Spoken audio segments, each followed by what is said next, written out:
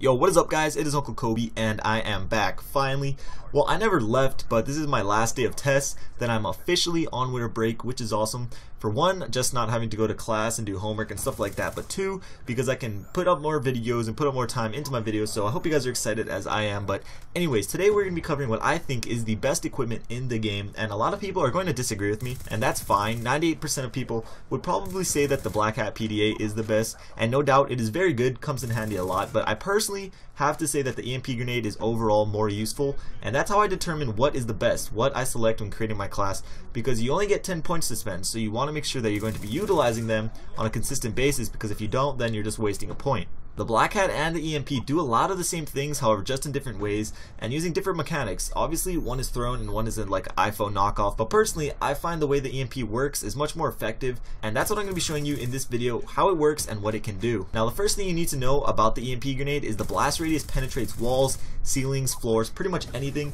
Barriers do not affect the grenade's explosive effectiveness, meaning if someone or something is on the other side of a wall, they'll still be hit by the EMP blast. So if someone is camping in a room with a couple Bettys and shock charges, you don't even have to get the grenade in through the door to destroy all of them, as well as disrupt the enemy's HUD. This also applies to sentry guns and guardians. Often players set them both up protecting two different doors. I'm sure you have all seen this before, but instead of calling the game gay and threatening David Vonderhaar, simply throw one EMP in the general direction and it will destroy both of them. Whether it's thrown at a wall, a ceiling, or a floor, any and all electronics will be destroyed.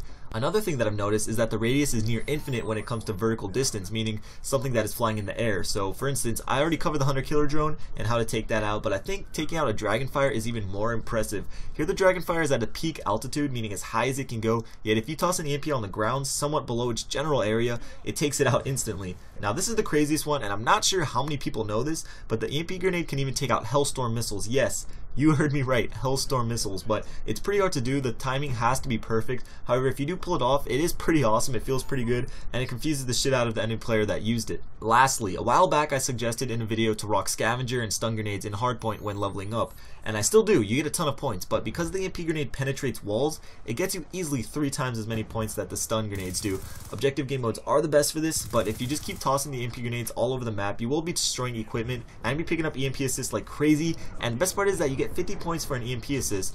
That's how much a kill is worth and kill confirmed. So just keep all this in mind when creating certain classes. It is most effective in more rushing classes, SMG classes, and I actually use it a lot. All of these people made videos about how the Black Hat destroys all this stuff, but I guarantee you 99% of them don't even use it in their loadouts. So there it is guys. Thank you for watching. If you enjoyed the video please take the time to leave it a rating. It's not even about trying to get into the suggested videos. I'm just trying to get my own subscribers to see that I uploaded it. But whatever even with everyone's views dropping I'll keep uploading. I haven't made a dime so there is no need for me to even complain. But anyways if you missed my videos from yesterday, go check them out. Two of them were actually really funny, and I also uploaded a promo for a new series, so if you want me to continue it, go show that some love. But after I catch up on some sleep, my upload schedule should be back to normal, and I really do hope you guys are enjoying these videos because that is the only thing motivating me to continue making them. Honestly, I get nothing else from this YouTube thing other than fun and uh, your guys' support, so thank you, thank you, thank you. I extremely appreciate it. But before I start crying, this is Uncle Kobe. I'll see you guys later. Peace.